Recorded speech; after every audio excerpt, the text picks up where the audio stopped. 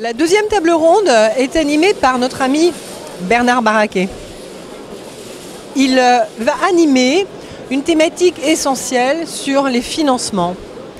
Les financements pour tout ce qui concerne les infrastructures liées à l'eau, mais aussi pour tout ce qui concerne la coopération euh, internationale, l'accès à l'eau et à l'assainissement pour tous.